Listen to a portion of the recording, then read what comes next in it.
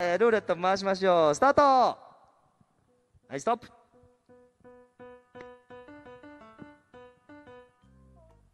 おあ高橋さん。え、え、高橋さんですね。あ、私、あ、高橋さん1万円ぐらいのやつお願いします。1万円、これ、私的には5万円くらいするんですけど、皆さんにとってはいくらかちょっとあれなんですが、5万円の価値のある隠し事ね。はい。私、さくらあやねさんのことずっと見てます。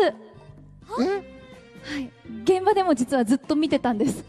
なんかえ、会場のリアクション的には別にそうでもねえなって。え、嘘、5万円くらいしますよ。お。見受けですが。私にとって。はい。いやなんか目合うなとは思ってたんですけど。じゃあ見てんじゃんよ。で一方的にちょっと、ななんでってのも変なんで？理由はいろいろあって、はい。まずは、あの、今日のお洋服何着てるんだろうとか、おそういうところから、今日はこういうトップスでもしかして特定しようとしてる？してない私じゃない。あー私じゃないです。あの私が書き込んでるんじゃないんです。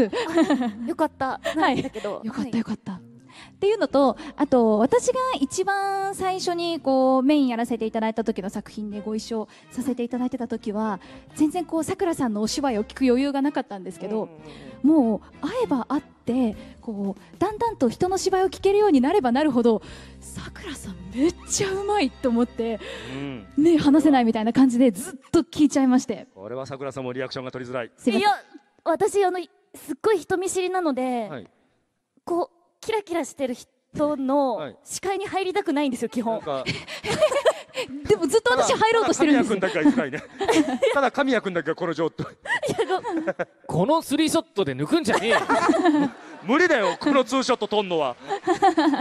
さあただ1万円には到達しないんじゃないでしょうか、ね、1万で円も告白できて幸せです。び